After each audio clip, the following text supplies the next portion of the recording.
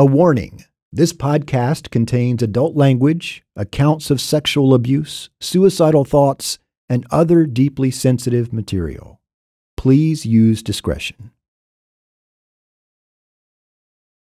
Previously on Terminal, The Dying Church Planter. No one is indestructible, not even Richard Pope. I was so like demented and twisted and angry because it's easier to be angry than to be broken. You know what I mean? He survived rape.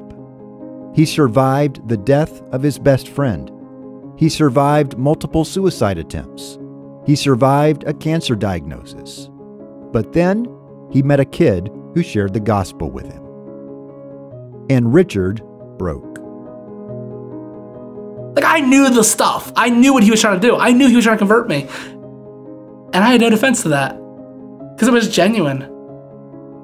And so when he fell in love with Jesus, I had so much more joy and peace. And then when he fell in love with a pretty girl, she told me she liked me. And I was like, yes.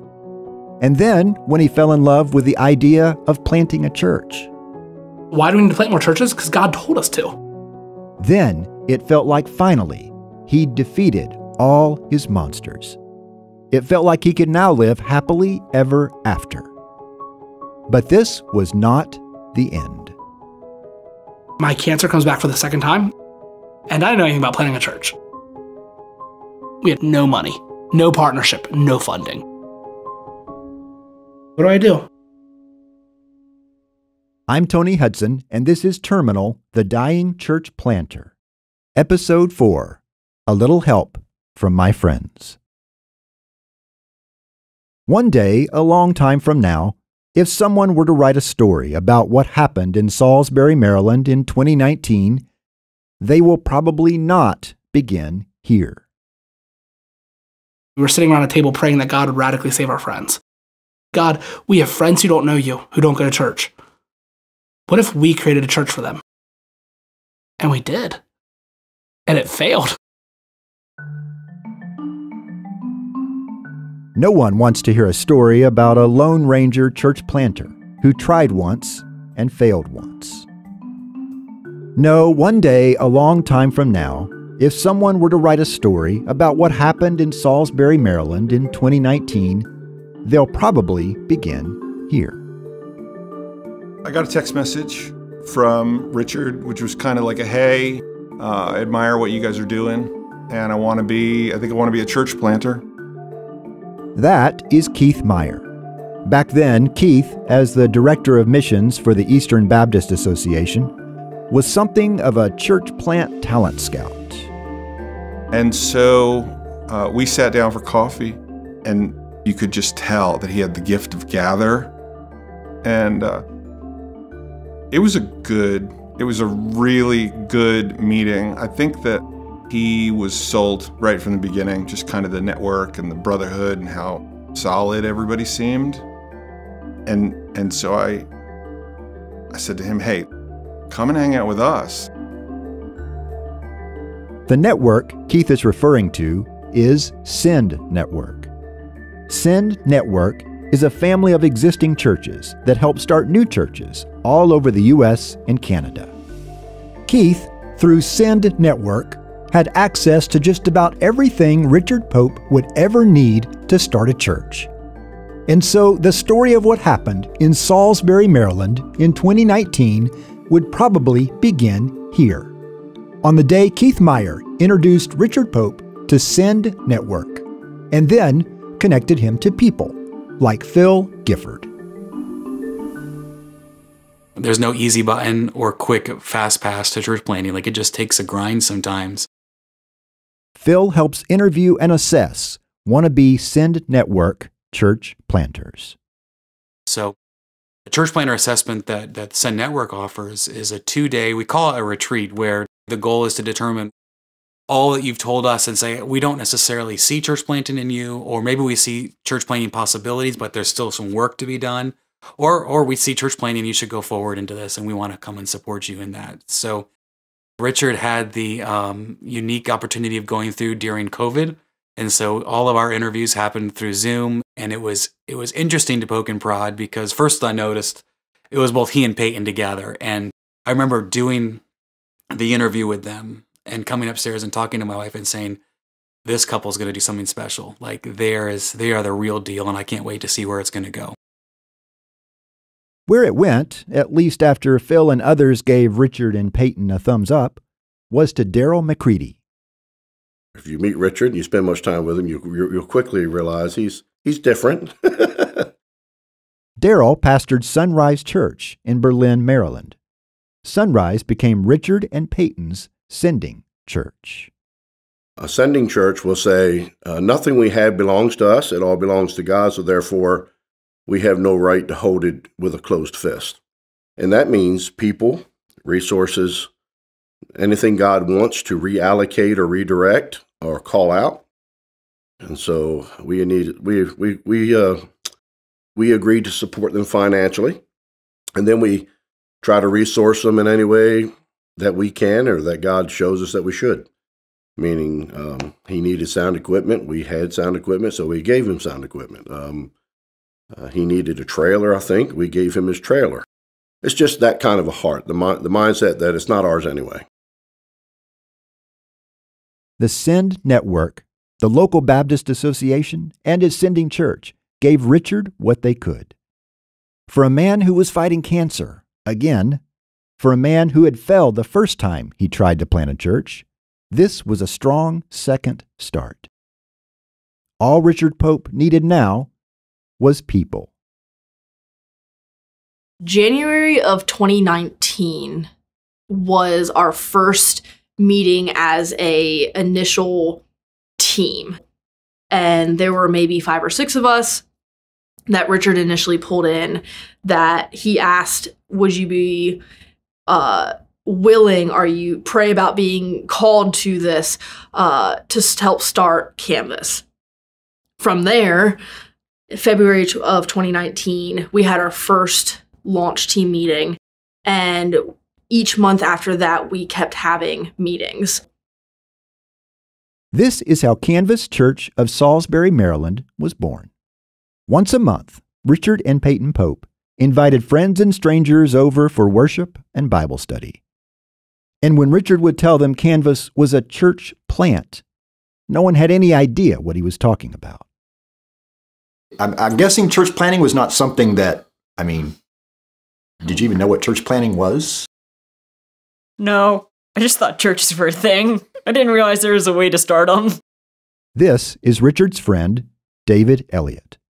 But no, so I was about mm, 19, almost 20, 19 or 20. And I had stepped away. I had stepped away from the church for a little bit. Like, I'm having a, like a small Christ centered crisis with myself where I'm like, what is there for me? And Richard, he saw more potential in me than I thought, or other people thought too. So it's nice. But he was like, hey, dude, come help me with this thing. I'm like, okay. Okay, you're the planter. I'm just going to help you. There were like six of us on the team. Team grew to seven, eight, nine, ten. And uh, I had people who started going, I'll help you with this. But so many of them were newer believers. Or they weren't church people, or had, they hadn't been in church in 10 years. And so that is why Richard and Peyton decided they would meet, pray, worship, and make disciples slowly. Then they would launch Canvas Church officially in October 2020. Or at least that was the plan. Richard and I he typed up a kind of like a plan and an outline and uh, me and some of the other leaders just spent some time looking over it talking about it just those initial things of what we wanted the church to eventually be and then um, we just kept meeting and we kept doing these launch team meetings so then in november of 2019 i got a phone call from him saying that the cancer was gone and i almost just crazy. It was super awesome. And then We got married March of 2020. We were planning on launching that October, and that didn't happen because of COVID. So during COVID, we still gathered together like we had been doing once a month, but it was on Zoom, which was not fun. Uh, but it still worked, and God still moved, and people actually joined the church through Zoom, which was crazy. Every month, at least one new person showed up unannounced on Canvas Church's virtual online doorstep. Richard and Peyton's unofficial, online only church was growing. It was the most 2020 thing ever, and they had no explanation for it. No earthly explanation. Exhibit A Sarah Altman. I am Sarah. I was part of the launch team for Canvas. Um, I'm a single mom. I have four kids and um, work full time been born and raised in Salisbury. So I had been to a lot of churches, but at that point, I, um, my husband and I had separated, and um, I really wanted to. I'm like, God, I'm in a broken place, and I don't know what's going on. I don't know what the future holds, but I know that I can't not lead my kids, and I can't not walk with you. I could, I could lay in this brokenness and just kind of wallow in it, but God, you know, circumnavigated and was like, "You're gonna go make turn left here." It was like a GPS without a voice, and just scrolling through Facebook one day, just sitting on my phone, just mindless, not even thinking about what I was looking at, and then bam, and it was just a picture of the logo, and they were putting out an ad looking for um, team members for their worship team to kind of help launch the church, and you know, typically when you join a church, you've heard about it from a friend, you've heard about it from a grandma, you've, you know, now you can watch stuff online so you can see and hear a message, kind of check it out before. This was all sight unseen. Sarah had sung in church ever since she was a little girl. And so, on a whim, she recorded a song and sent it in. I sang Reckless Love for my audition. And I was torn between that song and another song, and I was like, no, I think I'll go with this one. Like, I could do both, but it's fine. I can, it shows my range. And that, you know, I was thinking vocally, like, where am I going to sound the best? Can you sing me a couple lines of that song? Okay. Oh, the overwhelming, never ending, reckless love of God. Oh, it chases me down, fights till I'm found. It leaves the 99, and I couldn't earn it, and I don't deserve it. Still, you give yourself away. Oh, the overwhelming, never ending, reckless love of God.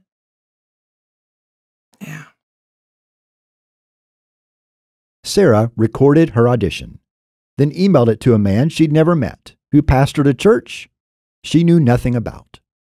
And then several days later, she received a text from Canvas Church asking, Can we meet? And we didn't talk until I officially met them at one of their earlier launch team meetings. And I walked in and I didn't know anybody was there. I didn't know who Richard was because I hadn't even seen a picture of him. We had only spoken in text messages after I had sent him my video audition. And it was really cool. He shared with me, um, and this kind of got me emotional. The day that he watched it was the day that he got the call from the doctors that his cancer had come back.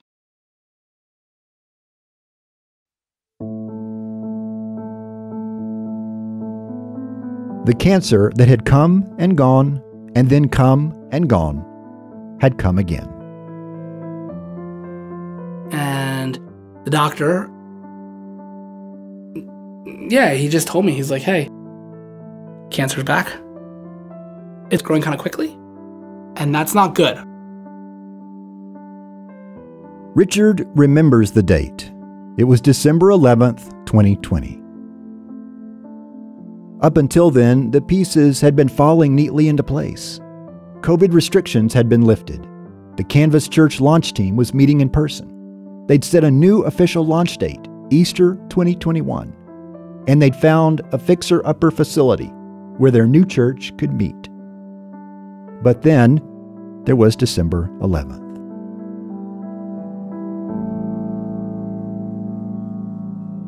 So we finally get this place, and uh, we start renovating. But the whole time I was puking and having diarrhea on myself. And we pressed through. We renovated. And then I got sicker and sicker and sicker. And I thought it was just the treatment. I was like, oh man, this treatment sucks. I need better treatment. I was like, man, they should pick better poison to give us. And then I started having pains. And they're like, hey, it's spreading, it's spreading your, your lymphatic system. So, yeah, they did surgery. I was in here the day after surgery, by the way. because I just wanted I just wanted to I don't know. That's the thing. I was so distracted, Tony. Like like I was so distracted that I didn't really deal with it. I was just busy. So the so December went by, January went by, February almost completely went by, and towards the end of February, uh, what had happened was the doctors had told him that it was spreading, so they did a surgery to see if they had gotten everything. And then, one month before the official launch date of Canvas Church, Richard's doctors told him what they'd discovered. They did not, nor would they ever be able, to get everything.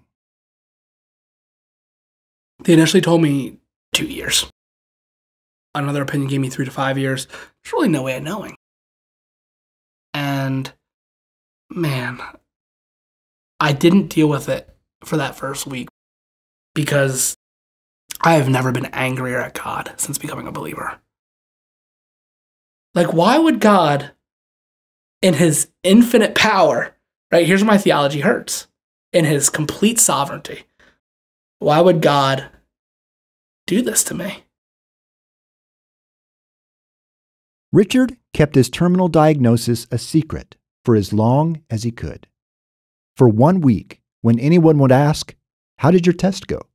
he would answer, Great, I'm all good. But the one person who knew him best could tell something wasn't right. And then finally, we were in here sweeping up nails from the construction on like a Friday or Saturday night uh, a week later because that's what you do when you're planning a church and it's being renovated. Uh, and she said, You're lying to me. Something's not right. You don't lie to me. What are you lying about?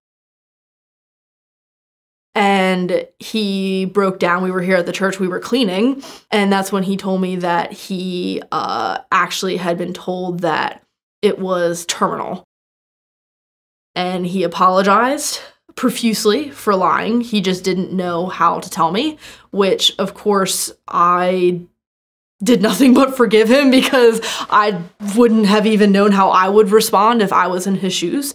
Uh, but right after that, we really didn't do anything other than uh, just kind of sit there.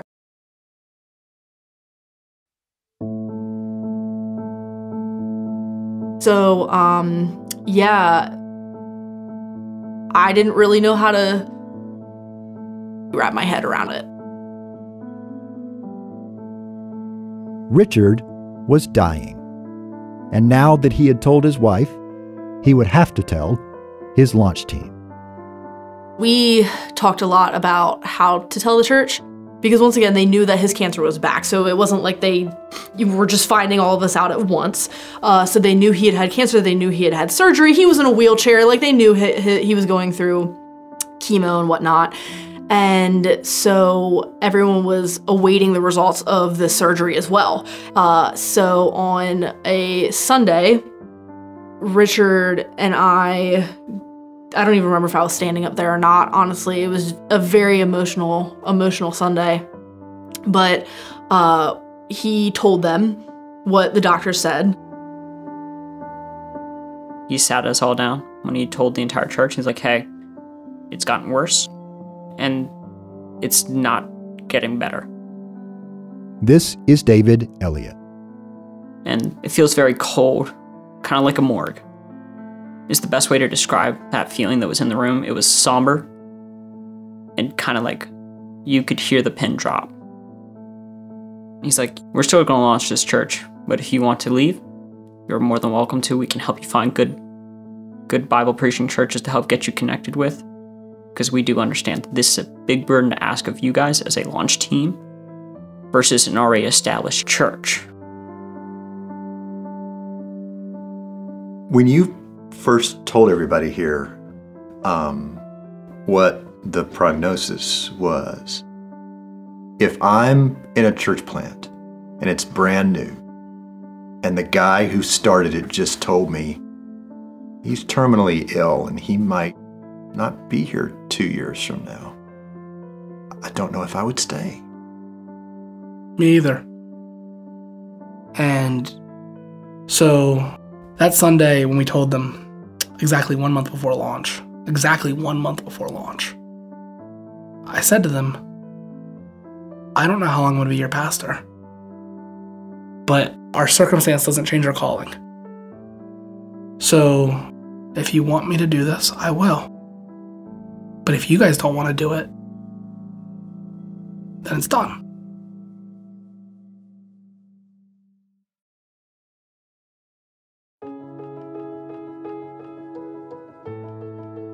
Coming up on episode 5 of Terminal, the Dying Church Planter. What do you do when there's nothing you can do? we got to we're gonna get through this and um, i'm gonna cry um, excuse me